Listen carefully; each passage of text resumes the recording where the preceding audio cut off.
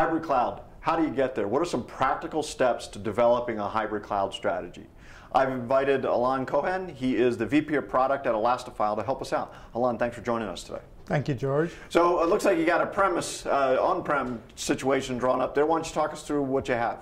Indeed, a lot of enterprises start with an on-premises storage solutions, and mm-hmm. in many cases, this is a distributed file system to enable working with many workloads on that environment. Okay. But they quickly realize that they want to benefit from this huge resource that is out there right next to them. Basically, these are the public clouds providers. And the first thing that they notice is that they want to get their data out there because you can't run the applications without the applications having data. So Elastifile provides a solution called Cloud Connect, which connects their on-prem environment into this cloud environment by basically taking the file systems they have on-prem, compactizing them by deduping and compressing, and putting them on object storage in the cloud. Now we do this very efficiently so that you can only store differences between versions and basically you get an active archive that you can use for your data in the cloud or back on-prem. So is that the primary use case is to use it as an archive?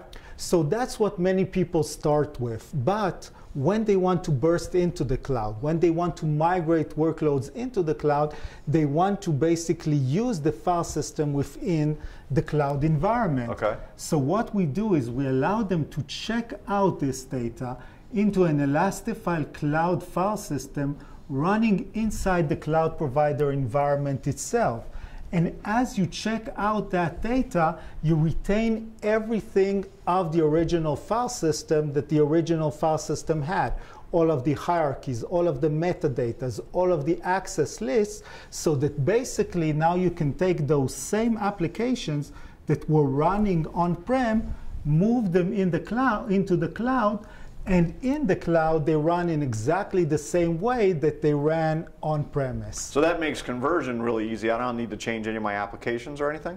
Exactly. Mm. there's no refactoring involved with this uh, movement. The same application, the same files, the same hierarchies that it saw on prem, it will now see in the cloud.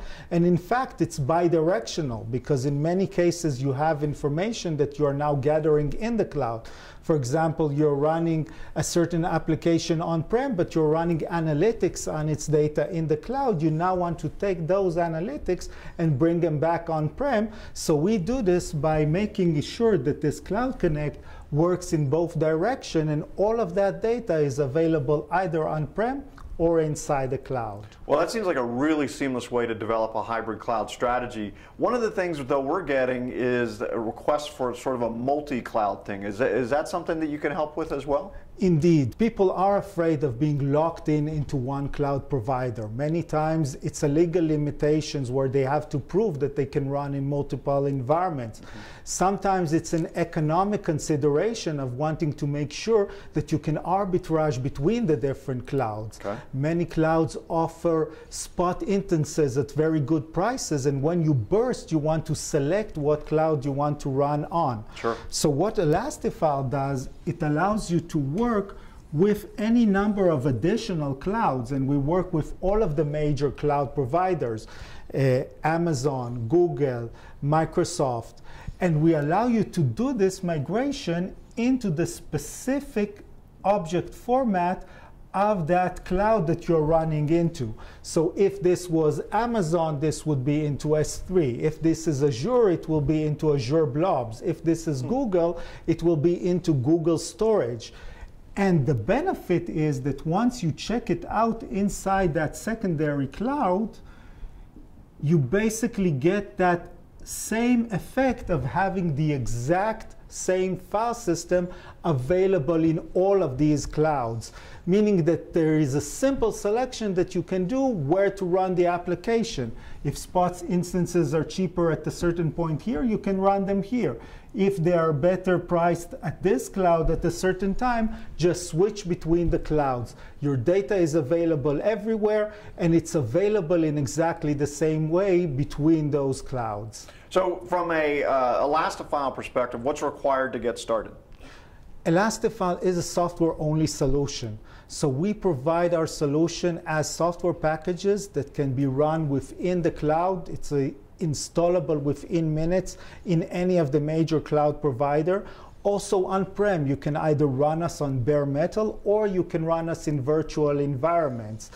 And you can also migrate data from existing solutions into the Elastifile solution, either in all of these locations or just selecting one of the locations. So if there's an enterprise that is happy with its current on-prem software but wants to burst into the cloud or wants to enable that multi-cloud capability, he can continue to work on his existing storage and use Elastifile and Elastifile's Cloud Connect to get the data into the cloud and to work on the file system in the cloud as well. Wow, okay, that's really good. So, uh, Allon, one of the questions I get a lot is also how do I kind of tear the environment down very quickly to uh, maximize uh, cost utilization and things like that? Can you guys help with that as well? Definitely. That is a major consideration when enterprise use hybrid cloud environments because they only want to use the cloud when they need it and at the amount that they need it. Sure. So basically, we allow you to take that cloud file system, check it in back into object storage, and basically turn off all of your compute cluster as well as the file system itself. Now, when it's checked in into object, it's compactized, so it's very efficient, but it retains all of the information that is required to simply check it back out, recreate that file system in the cloud so that you can burst it and use it when needed. You can also scale it up and scale it down as required because in burst situation, you sometimes want to enlarge your compute cluster, sure. making sure that the storage provides the same capabilities. So we allow that and we allow to do that with hot add and hot remove of nodes that can grow the cluster and shrink the cluster as required. Awesome. So not only have you made hybrid cloud easy to use, you've, you've enabled multi-cloud, and you're uh, really helping manage costs by this uh, check-in, check-out uh, type of capability. Yes, we believe that those are the three tenets of working in a hybrid cloud environment.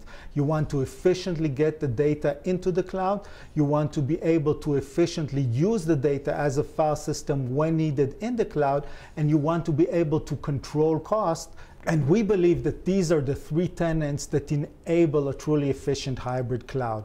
You want to first be able to migrate the data into the cloud, making it available when you need it. You want to be able to spin it out, check it out into the cloud, and be able to work efficiently at any scale in the cloud and you want to be able to check in the data back into object so that you can control your cost and select which cloud you're working with at each and every point. Well, Allon, thanks very much for uh, joining us today. It was very helpful. Thank you very much. So there you have it. If you're looking to develop a hybrid cloud strategy and then even extend it into a cloud-to-cloud uh, capability, here's a good way to do it, and you can do so by being very, very efficient in your utilization.